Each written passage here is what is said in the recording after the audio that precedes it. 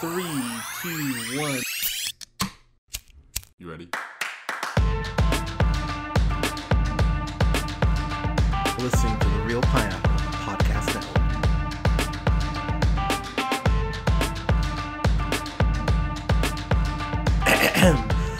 Good evening, everybody. Thank you so much for listening. We are the Reel Pineapple. This is Hunter, and I'm here with Colin. Colin, how you doing, my friend?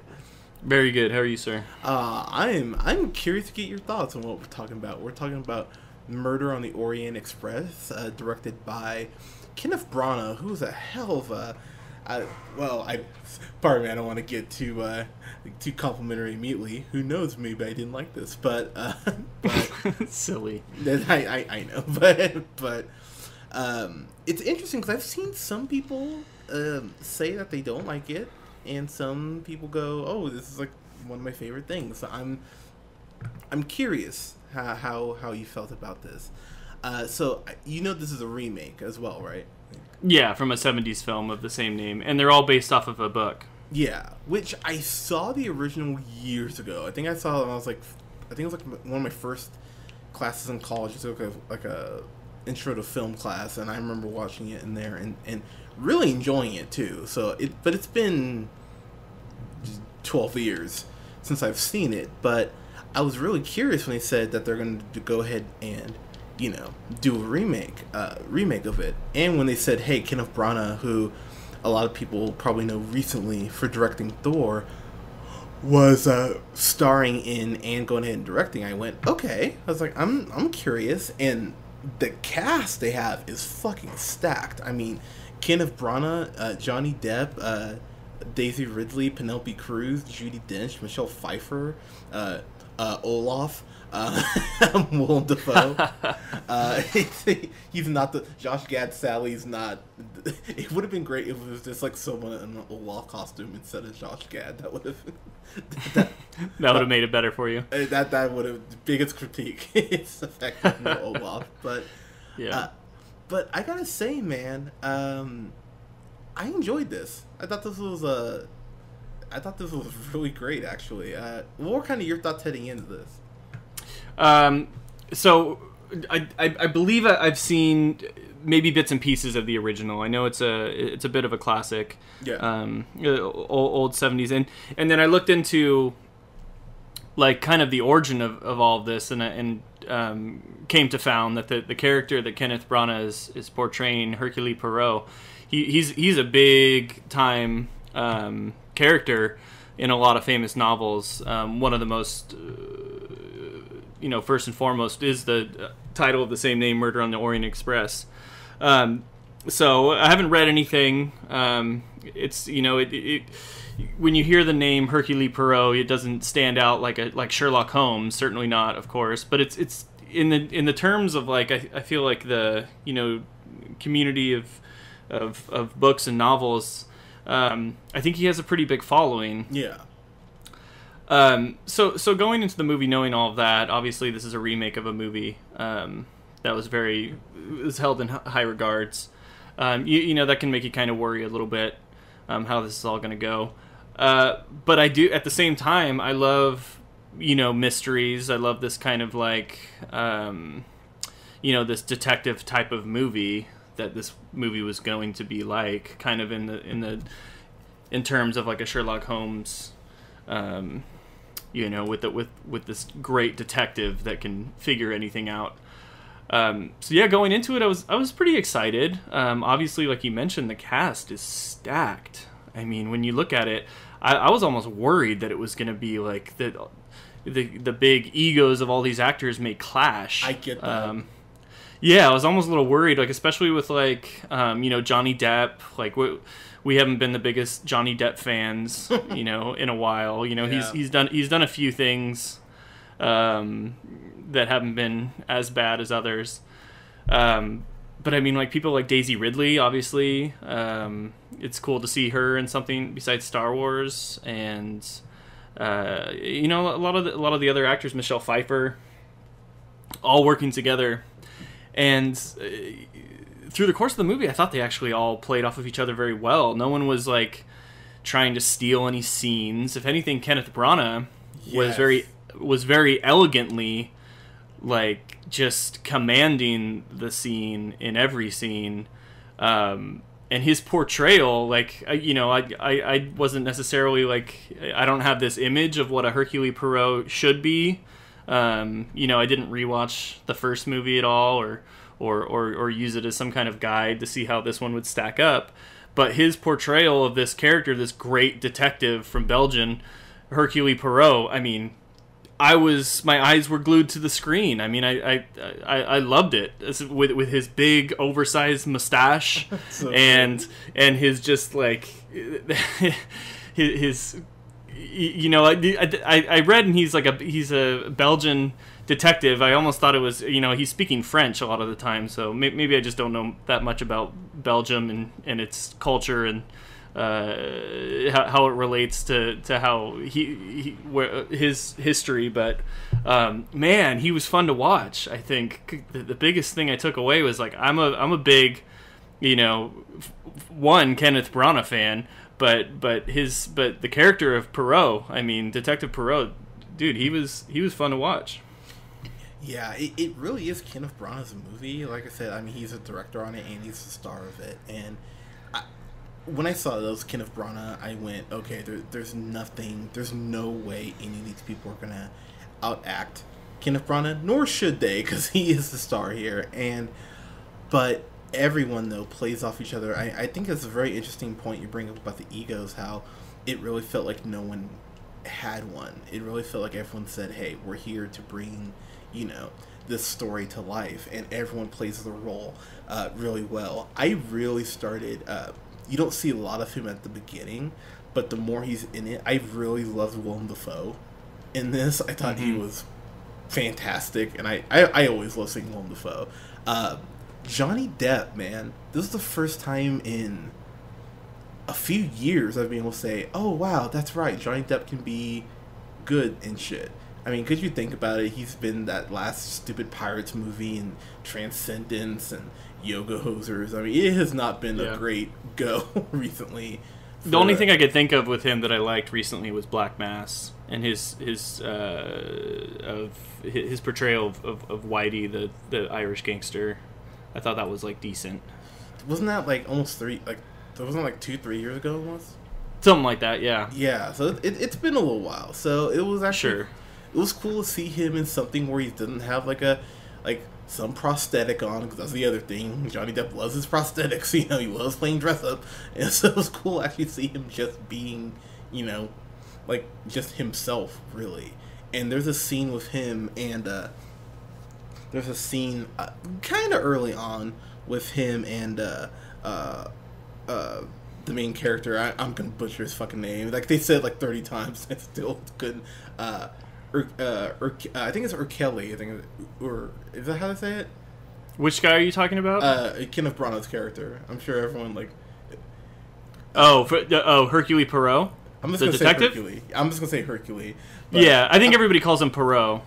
You know, Yeah. but he's like the, the, the detective Poirot. I'm just gonna but yeah, the whole time when he was saying it, he was saying it with such th- this thick like French accent or Belgium, I don't know, but like whatever it was, it was like I never knew what his name was until afterwards, and I was like, oh, okay, so Poirot, okay, so I'm like, very confused. Yeah, but but you you know someone who's who's talked to a few uh, you know European people in their time, uh, the accent being that hard to understand, that's staying pretty authentic, honestly. So, but you're right. I did Mhm. need other people to go Perot. Oh, okay, Perot. That's how you say it. But there's a scene early on between uh, between uh, Perot and uh, Ratchet, played by Johnny Depp, and it's a really intense scene where Ratchet's basically saying like, "Hey, you should work for me. You should be my protection," and Perot basically saying, "Yeah, you're kind of a common criminal," and no, absolutely not. And it's it's really interesting to watch, and the scene was actually pretty tense, all things considered too,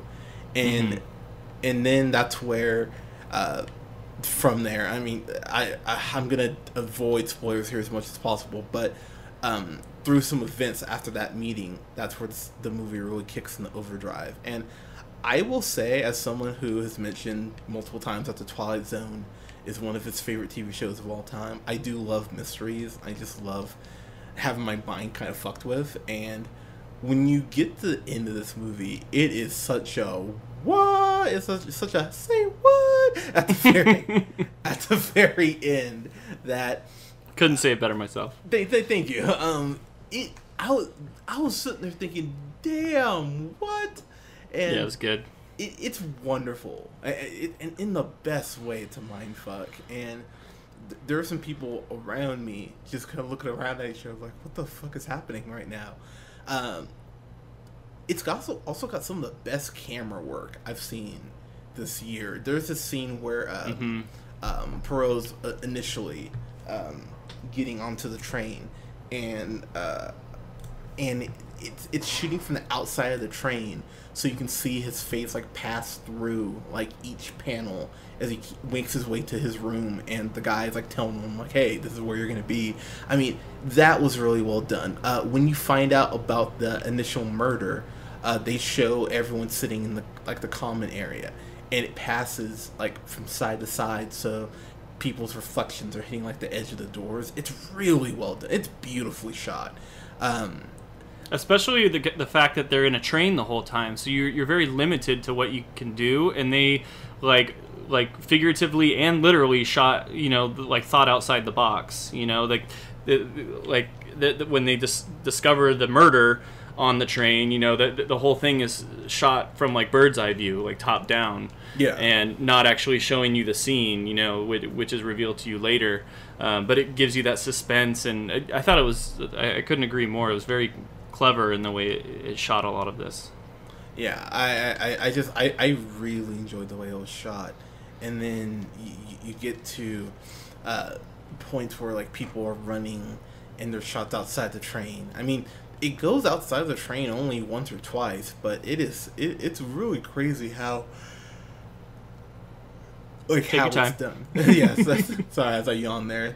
I, am very relaxed, but it's but it's it's really well done the way it's shot. There's a scene where he takes a Daisy Ridley's character uh, Mary outside, and he's questioning her, and there's like little snowflakes falling. And I'm like, okay, this doesn't need to like be in 3D, but I it would it would be cool if I could like stick my tongue out and and catch little snowflakes. Uh, it's it, I'm sitting here really thinking about it, and I think if there is a complaint for me at least, and it's not really for me, I think just people, some people in general sometimes people really like their stuff spoon fed, and the thing is, the movie does give you, you know, a little breadcrumb here, a little breadcrumb there. But I think that if you're one of those people who needs to just know everything and doesn't appreciate the journey, it this movie will confuse you. But honestly, if that's the kind of like film viewer you are, then I, I, I don't I don't like you because this movie like this movie does reward you for staying like staying in the flame with it and really just kind of you know uh, respecting uh, the process of, of it all.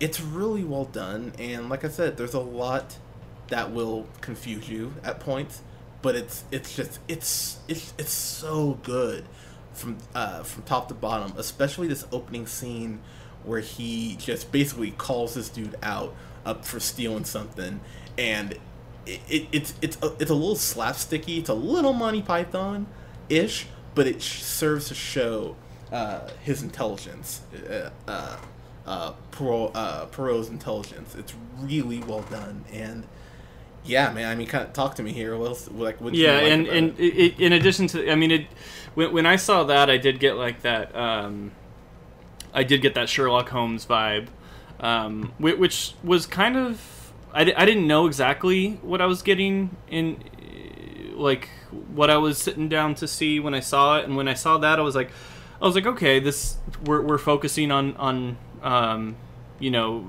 Poirot, and it's going to be a movie essentially about him and and his journey through this through this adventure. And uh, the way it starts off, I, I, I liked the way it started off a lot. Um, in addition to him kind of solving this this uh, this case relatively simply and and uh, you know sticking his cane in the wall and you know having him know he was going to run by and hit himself. I mean, obviously that's that's all you know movie magic type of thing. It's like probably none of that happens in real life, but Well, but it's fun. you. but but it's but it's fun to watch and just see this person that you know can can predict anyone's movements or or or what they're gonna do given a certain situation because he is just like catching every single detail. Um, I thought I thought they did a beautiful job of really setting up his character. Um, the the way they have him measuring his eggs to make sure that they're just right so good.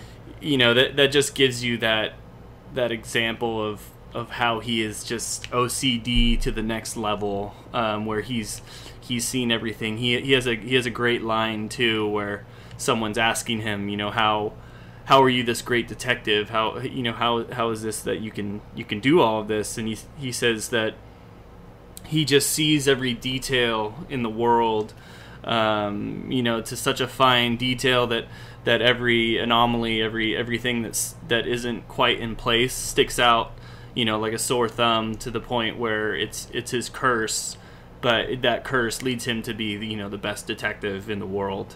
And i love that explanation the way and he said it better than i just said it. That's he it's all said in this elegant tone and and his in his accent that i thought is very very well delivered. Um and yeah it, really like it from the get-go it really sets you up um to be fascinated by this character. And like from the get-go i'm just like i'm ready to watch a movie where this dude's the focus. And i was really pleased to see that he was really um, the focus of this entire movie. It didn't jump from character to character. It didn't like give you too much time spent with people away from perot. It really focused on his kind of journey through meeting everyone and I don't I don't know if we had laid out exactly like how he comes to be on this train, but he, he's he's friends with the conductor, and he he gets on this train last second, which um, you know not to spoil anything, but ends up um, being a big part of of the the case getting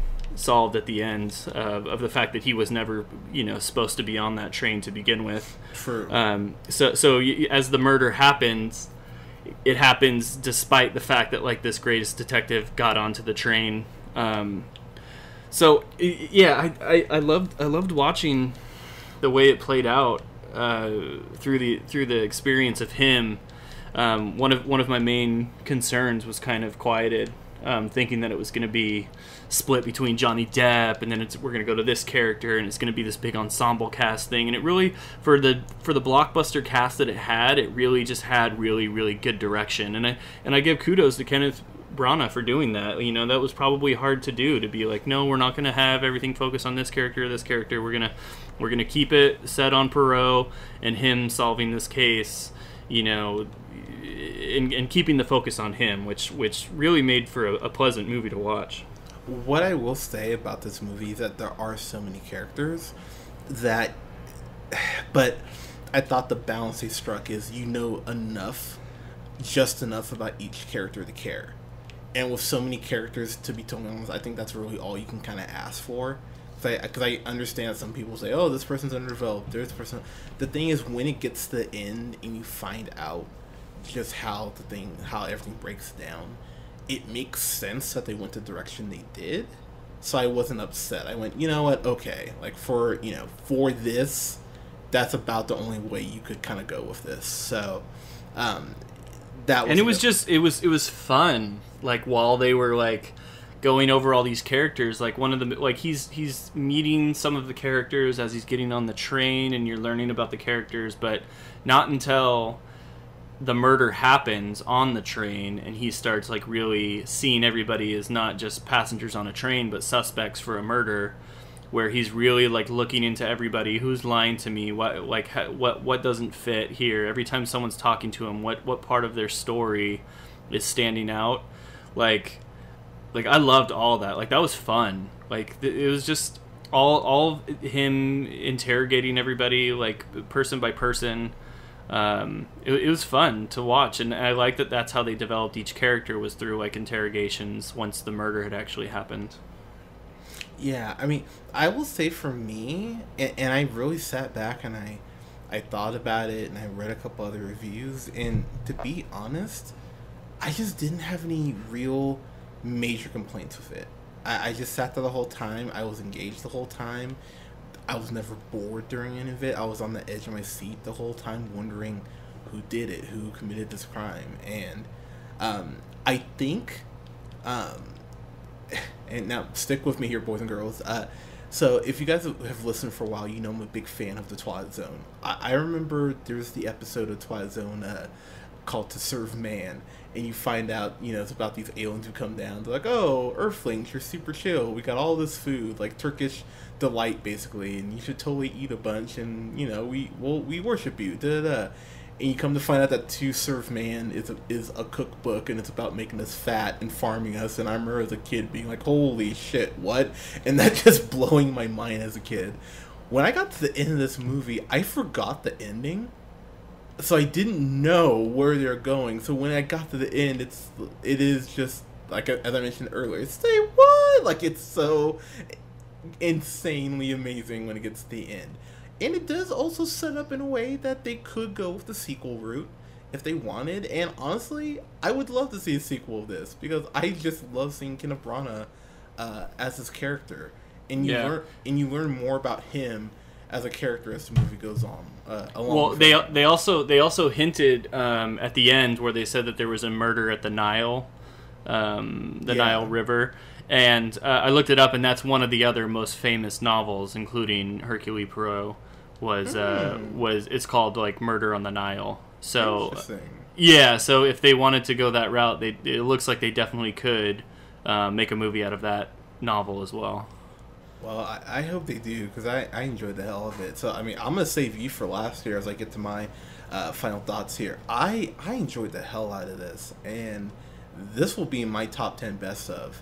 Uh, I it, it may be low on the list. I mean, we still got six weeks, but I just enjoyed the hell out of this. I was so happy leaving that theater, and which is probably one reason why I hated Daddy's Home even more. Is because I got this really great movie, and I have to go see fucking Daddy's Home too. But, uh, but yeah, just so well done. Kenneth Branagh, I mean, starring and directing this. Kudos to you, kind sir. And I really, as you mentioned, uh, I think Daisy Ridley has a very bright future. It was cool to see her in something that wasn't Star Wars, and and her her accent, I was like, oh, English accent, so cute. Just, um, I really enjoyed seeing her, and Willem Dafoe was great. Uh, as I mentioned, Olaf did a really good job. Uh, again, not uh, he's not a snowman in it, sadly, but what are you gonna do? Um, and yeah, good good to see Johnny Depp being in be Johnny Depp again, be that Johnny Depp that I remember. So